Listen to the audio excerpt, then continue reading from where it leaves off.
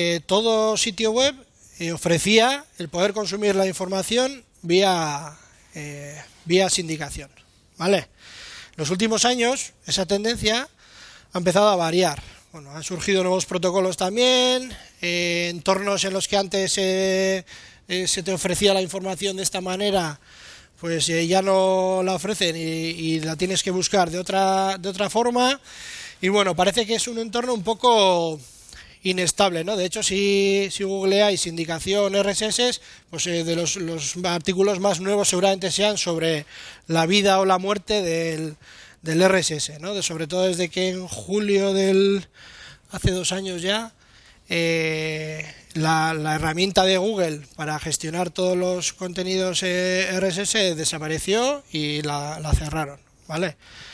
El Google Reader seguramente a la mayoría os suene, pues de un día, bueno, de un día para otro. Avisaron con tiempo, pero en un 1, 1 de julio del 2012 ya, pues la, la cerraron, ¿no? Y a, partir de ahí, pues surgieron diferentes eh, herramientas, ¿no? Pero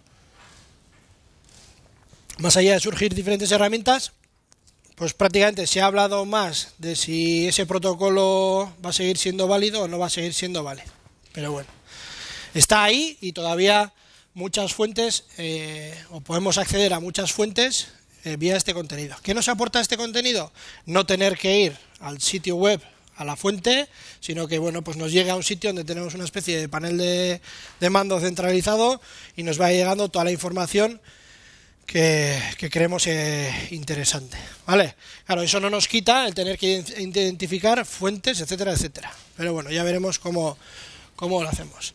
Bueno, aquí os he puesto la definición del RSS tal y como viene en la Wikipedia, pero bueno, no voy a, no voy a entrar a profundizar eh, mucho más. Y luego sí un par de, de ejemplos, ¿no? Pues los más típicos.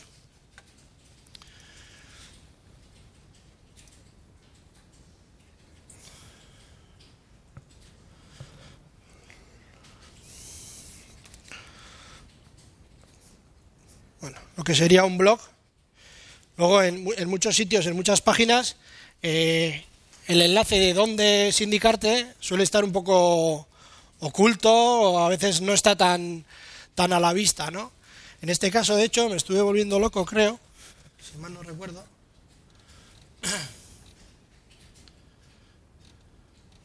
Pero ya veis que aquí abajo tiene el logotipo del, del RSS y al final lo que nos ofrece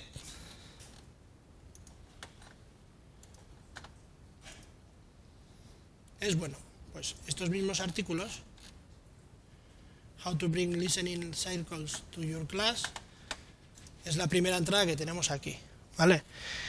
Cogemos este enlace y bueno, lo podemos gestionar pues, en diferentes herramientas. Feedly, que es una de las que vamos a ver hoy, eh, Bloglines, que fue una también que estuvo muy en boga, estuvo a punto de desaparecer y bueno, está, está medio viva, medio muerta.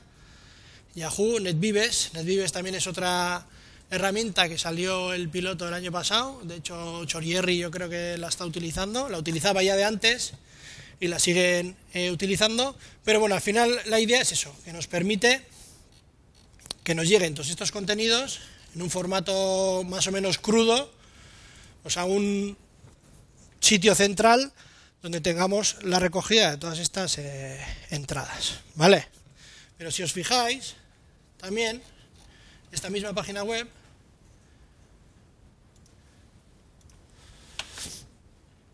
ya tiene su propia cuenta de Twitter.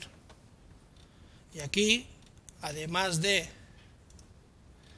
las entradas que va publicando, que están aquí todas, ¿ven? Todas estas entradas, esta, una, dos, tres, cuatro, están todas por aquí, si os fijáis, más luego enlaces, comentarios, etcétera, que parecen, les parecen interesantes sobre el objeto de la página. ¿Vale? Entonces, ya tenemos las dos vertientes. ¿Qué hago con, con esta web, esta fuente que me parece interesante? ¿La sigo por un lado o la sigo por el otro?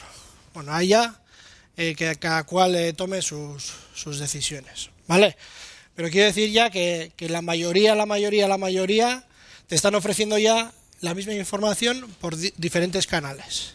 ¿Vale?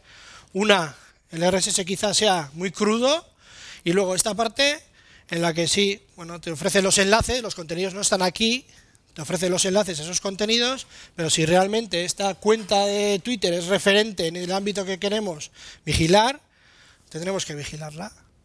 Y además de sus propios contenidos, seguramente nos enlace a contenidos relacionados, pero que no sean de, de la misma fuente, sino de otras. Y de ahí podremos ir ampliando nuestra red de fuentes interesantes. ¿Vale? Yo os digo que esto a nuevo os va, os va a sonar poco, ¿vale? Pero bueno, es un ejemplo. Más ejemplos que utilizan la sindicación habitualmente. Los medios de comunicación. Bueno, para diferentes eh, entornos, digamos, o áreas de vigilancia, pues vigilar los medios de comunicación y las noticias que salen en los medios de comunicación relativas a ciertos aspectos, pues es eh, importante, ¿no? El año pasado salían incluso eh, partidos políticos, eh, dependiendo de qué áreas estratégicas, qué opina tal partido de esto, qué opina tal partido de esto, qué opina tal partido de esto, ¿no? Lo que hacíamos era tirar de diferentes fuentes, filtrarla por los conceptos que creíamos oportunos y bueno, a ver qué opinan, ¿no? Los periódicos son otra otra fuente, y además la mayoría ya, aquí está un poco más a la vista, nos lo ofrecen incluso categorizado. Ahí, el RSS, al final esto ya es un filtro. No nos, nos ofrecen todo lo que se publica en Berría en bruto, sino que, bueno, por las diferentes secciones. Pim, pam, pom, pom, pom. ¿Vale? Diez secciones. Nos podemos indicar a una en concreto. Igual que Berría lo hacen prácticamente todos los periódicos. ¿Qué pasa otra vez? Pues que Berría también tiene su cuenta de Twitter. Y en su cuenta de Twitter, por lo menos las últimas noticias, las va tuiteando. Pero no es, quizá en los periódicos o los diarios, no son periódicos, son diarios, eh, ese concepto de tuitearlo todo no, no existe. No, no, vamos a encontrar que la cuenta del mundo eh, tuitee todas las noticias que ahora mismo tiene en la, en la web. ¿Vale? Pero sí que juegan con el tema de la última hora, etcétera, etcétera, etcétera. Bueno, son diferentes aspectos. En este caso yo, por ejemplo, tiraría más a, vigilar la parte de contenidos RSS que la parte de Twitter. ¿Vale? Porque seguramente que las noticias que a nosotros nos sean interesantes en este ámbito a vigilar, pues nos salgan más por RSS que, como una última hora de, lo que sea. A no ser que sea que se ha aprobado el plan vasco de FP. ¿Vale? Ese, ese estilo de, de noticias un poco más, más gordas, ¿vale?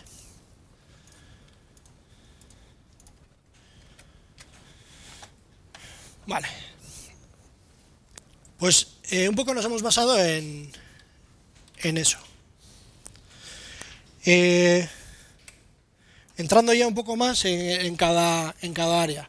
En un proceso de vigilancia, como comentaba ahora, ¿no? ya he mencionado varios, varios tipos de fuentes. Vamos a tener eh, estos varios tipos de fuente, ¿no? Pues con esto queremos un poco eh, visualizar lo que sería un sitio web habitual, temas redes sociales, ficheros, hay ficheros de documentos con información relevante, en casa podemos tenerlos, o no en casa, sino en, otros espacios, bases de datos, que bueno, puede ir vinculado, ¿no? Puede ser una base de datos de documentos, pero también puede ser una base de datos de, información en otro tipo de, formatos, ¿no? Pues siempre se ha hablado del tema de patentes.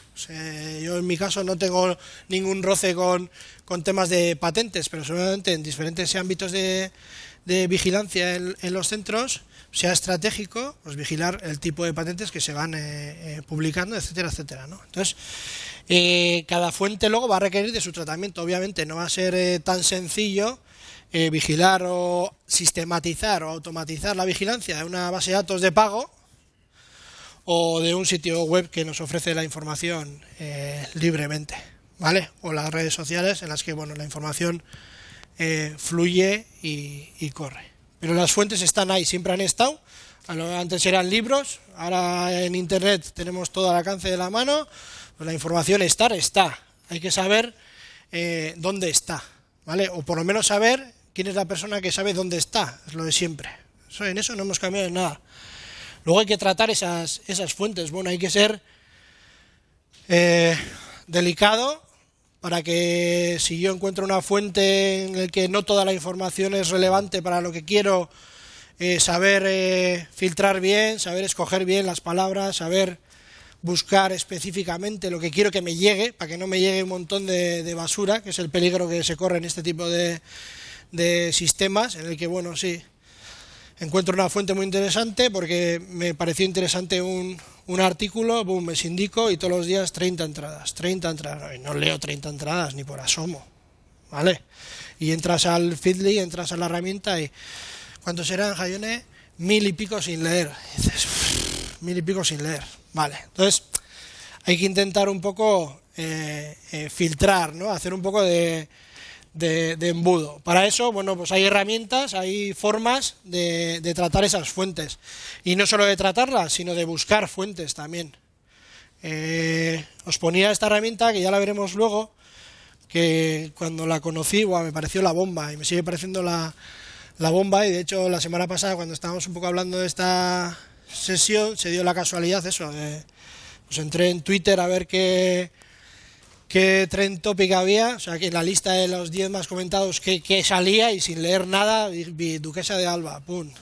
Me metí en, en Flocker, puse Duquesa de Alba. Esperas, fue un minuto, no sé, no sé si llegó a un minuto. Empezaron a salir, ya veréis luego, es muy visual, empiezan a salir eh, tweets y todos los enlaces, todos los núcleos de información donde van saliendo una especie de árbol y luego tiene un apartado de, del... Eh, Word Cloud, en el que sale una nube de palabras de lo que más está comentando, y fue pinchar y se veía Duquesa de Alba muere, eh, no sé qué, no sé cuál. ¿Cómo? ¿Que se ha muerto la Duquesa de Alba? No, no, sabíamos nada y solo con ver un gráfico de cuatro palabras ya sabíamos que se había muerto la Duquesa de Alba, que había sido no sé qué que había sido no sé cuál. ¿Vale? Y además tiene otra parte luego